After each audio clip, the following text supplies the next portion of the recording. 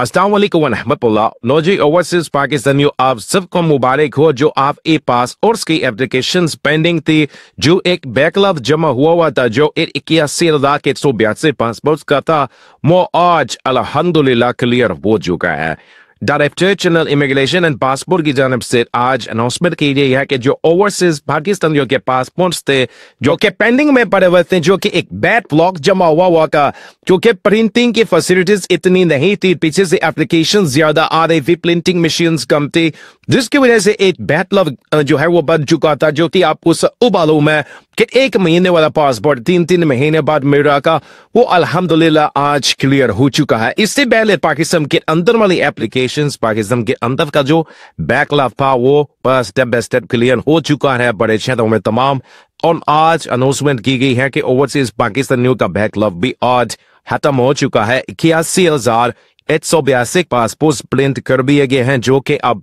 फोरी आपको डिस्पैच कर लिए जाएँगे और एक हफ़्ते के अंदर ये आप सबको मिल जाएँगे